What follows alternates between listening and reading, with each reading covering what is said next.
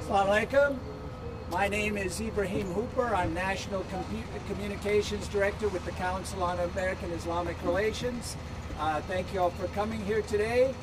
Uh, we're here today to unveil uh, CAIR's Black Lives Matter banner, and we'll have uh, several speakers who will uh, explain why we believe this is important to show solidarity with all those uh, challenging anti-black racism. Our first speaker is Nihad Awad, CAIR's National Executive Director, who will, at the conclusion of his speaking, uh, will unveil the banner. At the beginning, okay, corrected. At the beginning, he'll unveil it.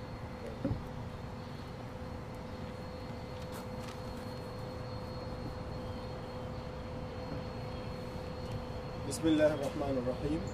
In the name of God, the compassionate, the merciful. Assalamu alaikum, peace be to you. I will start first by asking uh, Robert Macan to help us uh, unveil the banner, Black Lives Matter. Uh, so go ahead, Robert. Bismillah.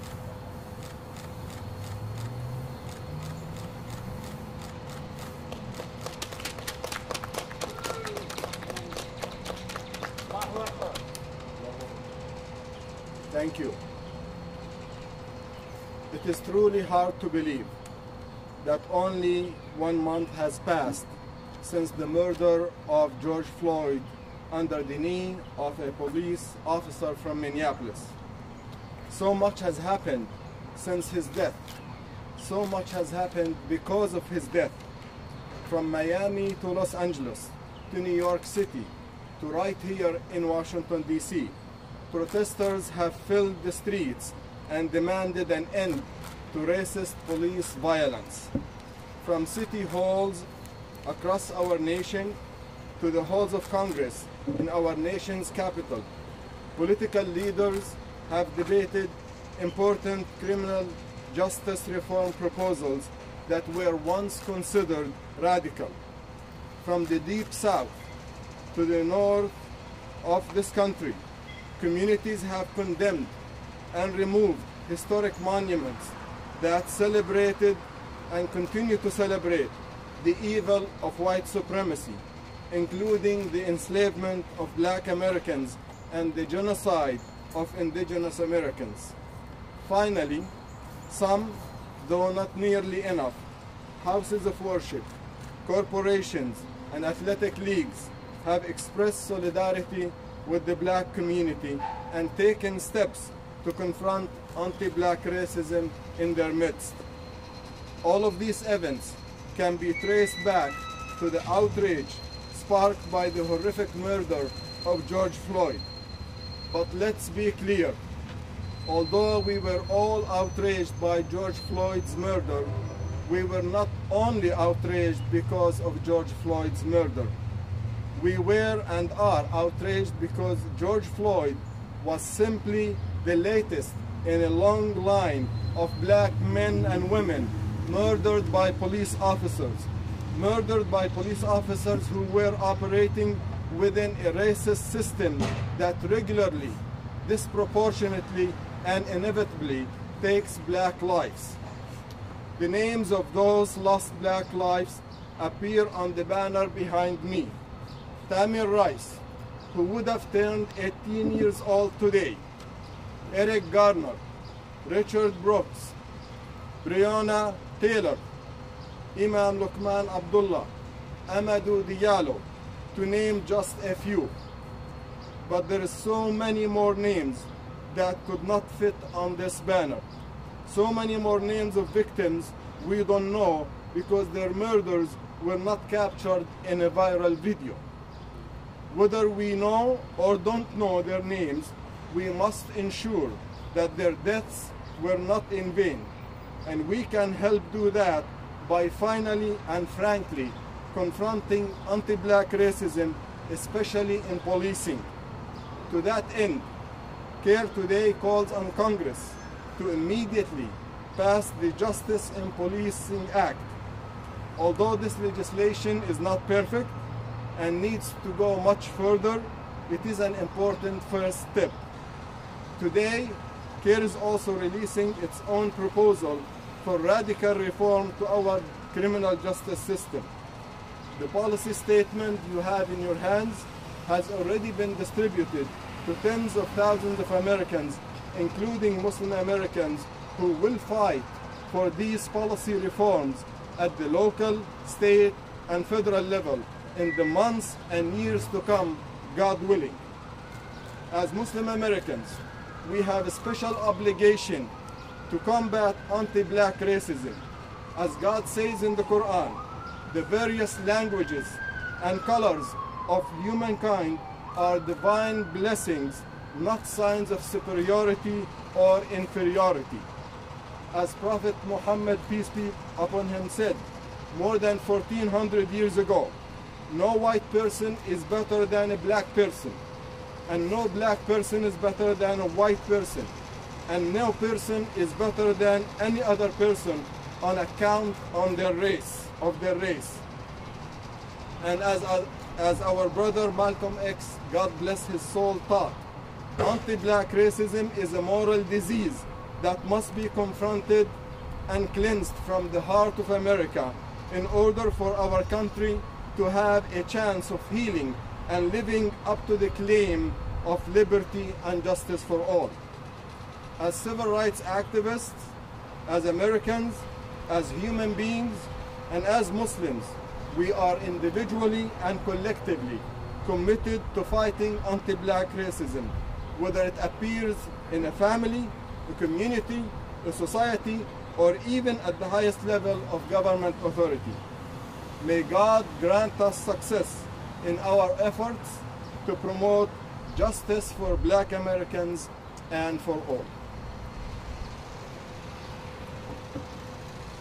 Next, we'll hear from Sister Fitra Mohammed of the Nation's Mosque here in Washington, D.C.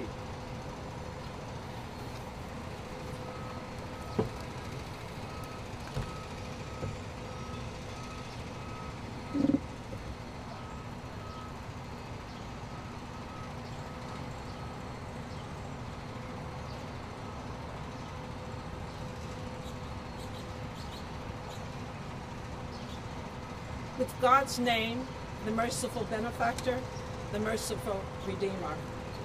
I greet you, Assalamu alaikum, peace be unto you. I serve the one who created everything in the heavens and in the and on earth, and who cares about us all. Whose revelations directed all the prophets to teach about God and the day of judgment who raised his messenger Muhammad, peace be upon him, as a mercy to all mankind. My name is Fitra Muhammad. I am Director of National and International Affairs at Masjid Muhammad, the nation's mosque. I am speaking as a woman and a mother of faith, created with the inherent ability to feel and respond to the pain of so many unnecessary deaths of our children. The voice of George Floyd was the cry of a son in distress, calling for help from all mothers. Imam Warithuddin Muhammad, may he be in the pardons of, ratchet of righteousness, said, Mother and women represent the whole of humanity George Floyd's voice was a call of consciousness. There is a Hebrew phrase which says, My cup runneth over. I have more than what I need. People all over the world are crying, enough is enough. My people, African Americans, were born in a society that never intended for them to be free. Driven to escape the cruel life of bondage, they resisted, persisted, and miraculously survived. There are countless numbers of recorded instances of mutinies aboard slave ships, countless attempted escapes, countless bobby, bloody revolts on plantations. Oppression, injustice, and ignorance is a crime against all of humanity. It is a burden on every soul. You have those who ask the validity, the question of removing the Confederate statues that were created as heroic figures to be honored in history, when in fact, the Confederate statues and flag represent a racist mentality willing to die to protect the status quo, the establishment of buying, selling, and owning men, women, and babies as human commodity. If not now, when is the time to right the wrongs? If not now, when will we learn that separating babies from their mothers and then caging them is a shameful act? The judgment is coming. If not now, when is the time to stamp out wickedness that wants to steal the innocence born into a society of either black suffering white privilege? Racism is reinforced by white divine images. Imam Warithuddin Muhammad, may he be in the Garden of Paradise, said, What would happen if people sat in churches throughout the world for centuries with the image of an African American man as their savior? He further said, Whenever a people give you their images in worship, racism is in that religion. He warned of the danger that would affect the psychological minds of African Americans seeing a white image of Jesus as God.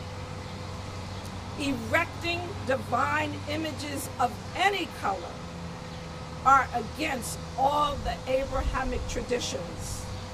Our religious leaders have failed us. Read your scriptures. This is a great day. People of faith are succeeding to overcome their differences and achieve living together in peace and harmony as God intended for all of us, for all of humanity. The protesters are multicultural, multi-ethnic, and multi-generational. Corporate America, community and government leaders are speaking up, supporting and enacting revolutionary change within their power. This is a great day. This is the day of reckoning. We must rise above the messages in the schemes of Satan that keep us divided, confused, and suffering. Messages that cloud our ability to face truth, our ability to reason, our ability to believe in a better human life that shares empathy, understanding, and compassion towards each other. We must vote to end the evils that haunt us all. With love and respect, all things are possible. Thank you. Thank you, Sister Fitra. Next, we'll hear from Zainab Chowdhury, CAIR's Director of Maryland Outreach.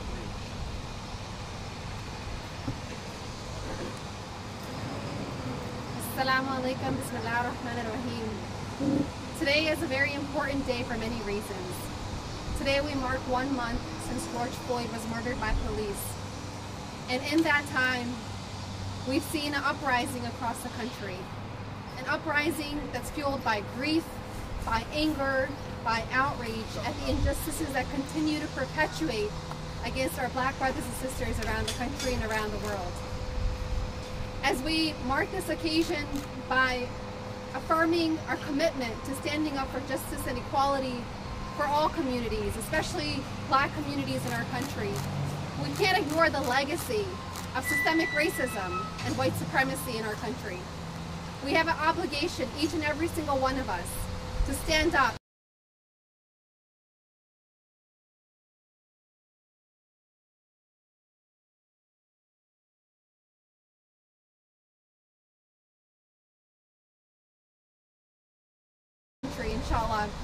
continue to pledge to fight against white supremacy and challenge the forces that continue to divide us.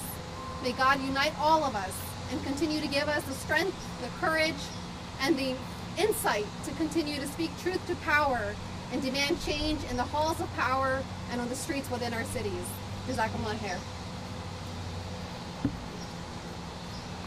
Thank you, Sister Zainab. And to conclude, uh, we'll hear from Imam Johari Malik, who's a prominent uh, Imam in the Washington, D.C. area and nationally.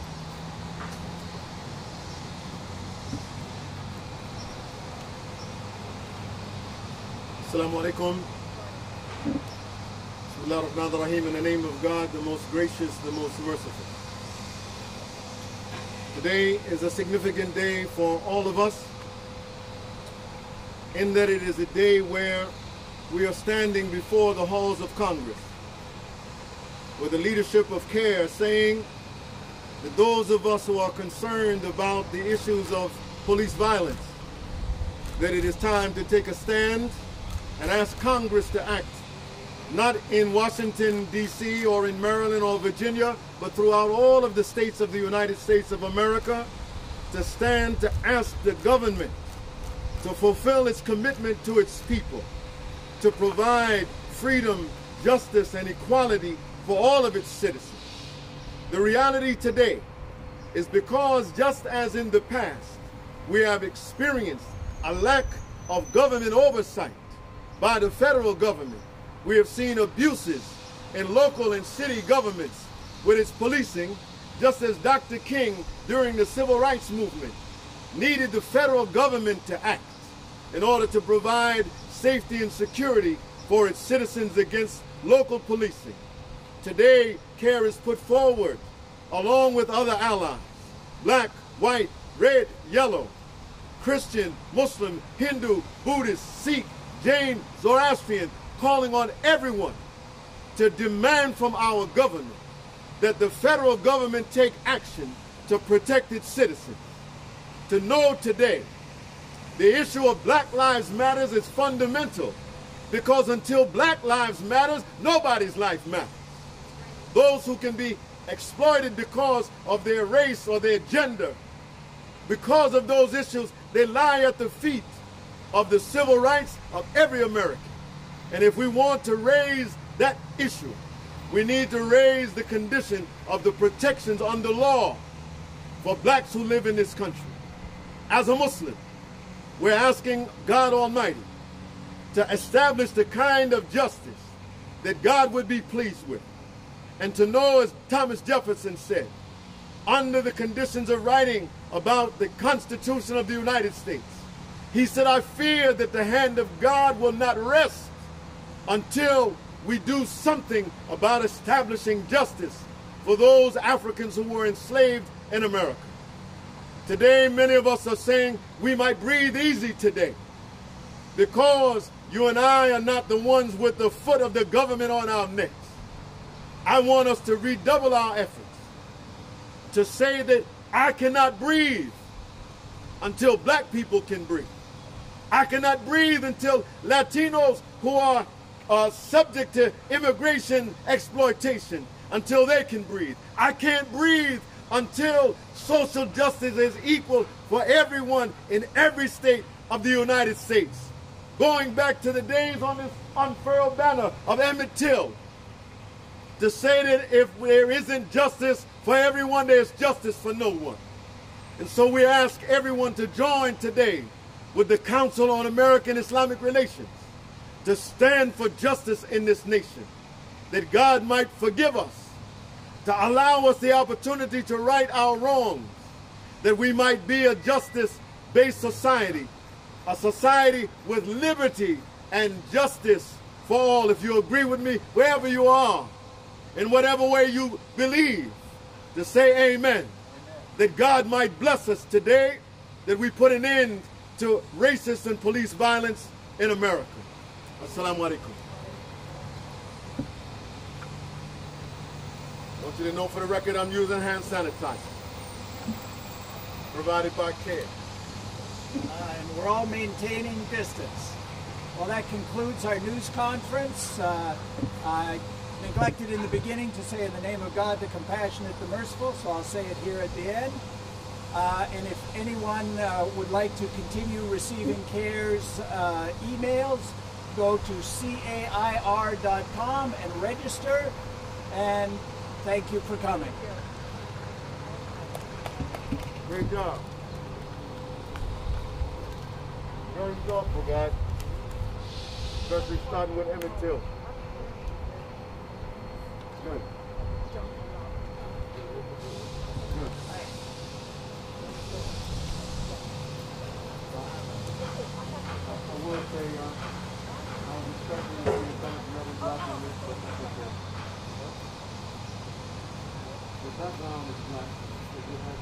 Clear? I'll soon get the first one. What's that?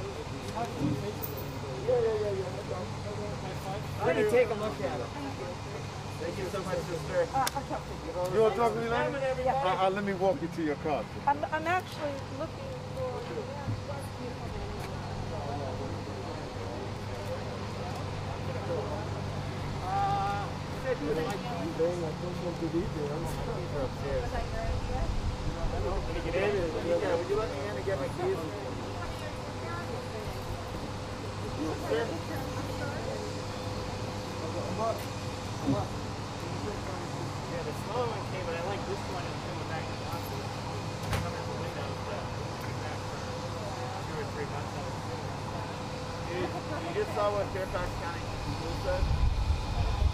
Said it's either all virtual lessons or twice a week